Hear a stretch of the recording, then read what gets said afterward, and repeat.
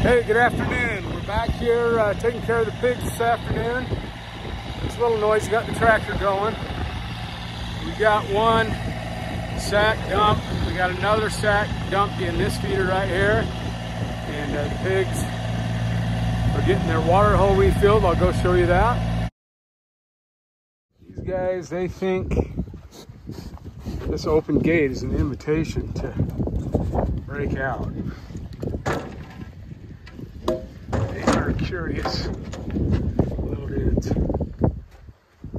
All right. So I'm out here on my own today. It's during the week. And Uncle Muffin has a granddaughter getting married in Hawaii. So he's uh, going to enjoy the uh, islands a little bit. And I'll take care of these pigs.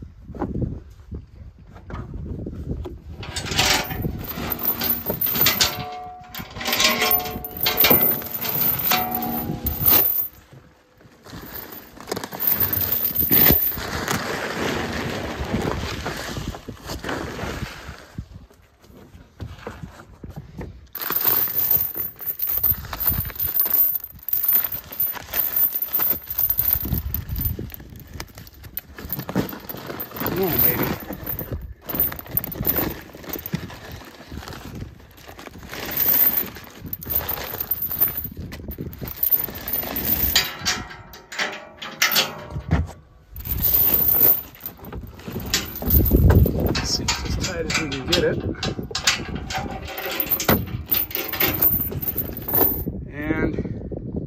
We might get lucky and be able to clear the tailgate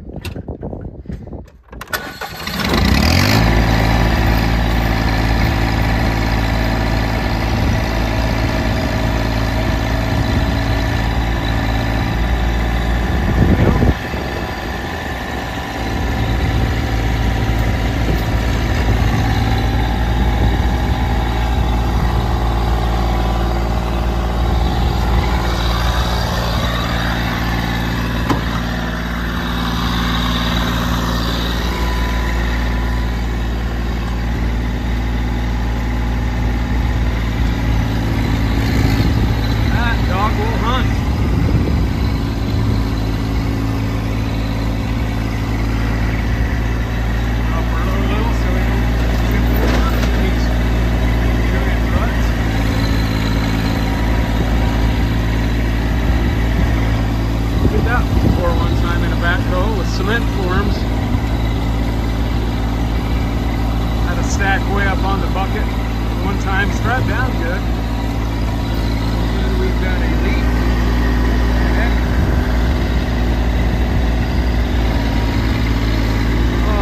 in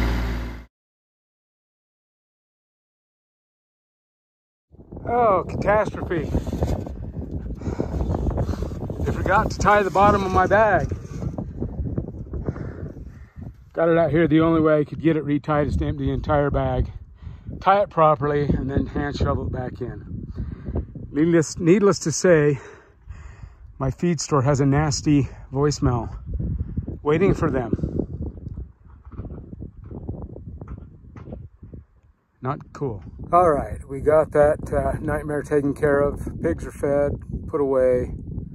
I stopped at the lake for a minute to uh, decompress, see if I can catch me a dinner fish before I go home, and uh, just kind of enjoy a little bit of time here fishing.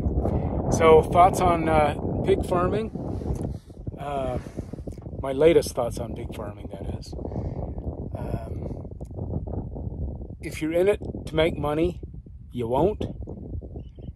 If you're in it for enjoyment, a lot of work, a lot of satisfaction, and providing meat from your family, then you'll be okay. But as far as making money, I've sold, I raised 10 pigs. I've sold nine of them. Um, I may be able to cover the cost of raising my pig and the processing fee for my pig, but that's about it. Um, by the time you deduct the mileage back and forth, um, I'm probably breaking even or maybe even losing a little bit. So um, I know I've seen a lot of other videos here on YouTube about people that raise pigs and raising them for profit is really, really tough. I don't know uh, where in the states you can do it and make money, but it's definitely not here in Utah because uh, I've tried. But anyway, we'll uh, we'll see it out till the bitter end. We've got probably five that are 300 pounds out there right now that are ready.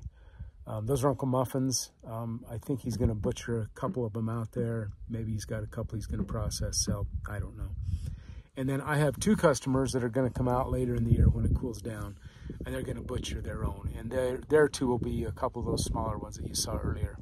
That's that younger batch. So I, I got two different batches of feeder pigs this year. And it's obvious in the size right now. Um, there are um, a couple that are about a month behind the other ones. So anyway, we're going to sit here and enjoy the lake, contemplate on uh, our pig raising adventure up to this point this year, determine determine whether or not we're going to do it next year, or if uh, if we do, how many we're going to raise. I do have people coming out of the woodwork that want pigs. I cannot uh, supply enough to meet demand, but it the, the market isn't such where I could raise the price and and make money and still have those customers. So, um, you know, I don't know. We're gonna think about it. We're gonna let the snow fly let the spring thaw happen here next year, and then we'll make our final decision what we're going to do. As for now, towards the tail end of the season, I don't think I'm going to do it, but you never know. Anyway, thanks for coming along today. Hope it wasn't too much of a downer for you to to uh, see me get upset at that spilled bag of feed and, and just the work it takes. I was by myself today, like I said, and so it was lot more work than usual. And as always, there's always something to fix. Those little monsters, they tear things up so quick, you, you just about have to follow right behind them and uh, in their wake and, and fix things as they break them. But they're fixed. We're ready to go for another couple of weeks, and we'll uh, see how that goes. Anyway, until next time, you take care of yourselves. Thanks for coming along and visiting me here. I don't know how long I'm going to do this YouTube thing. Um, what I've been at it two years now. Um, haven't figured out the algorithm. I don't know how to how to get my videos in front of people's faces, but we'll keep trying for a little while. Um, they say you just keep posting, keep posting. Eventually, it happens. But I don't know if there's any wisdom in that statement. But for today, it's been a good day. We're at the end of it. We're enjoying ourselves, and that's the important thing. So take care of yourselves and hope you're finding success in whatever you're raising this year. And we'll catch you on the next one. See ya. caught a dinner fish. Let's see if I can.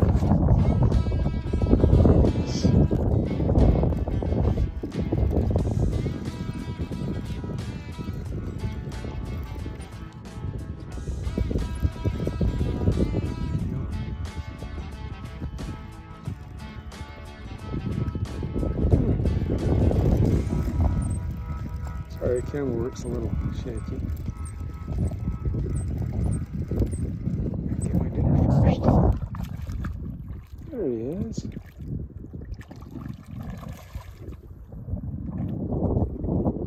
That's a nice little rainbow. Dinner is served. We have fish and some milk burger. Great way to end the day. Get this little fella out. Got loose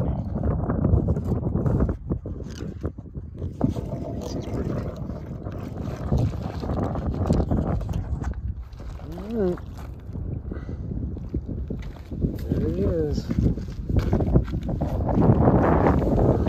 Hello, Mr. Rainbow Trout. There you go. Sorry about that. Looks like somebody took a nip out of his gill at some point. Huh.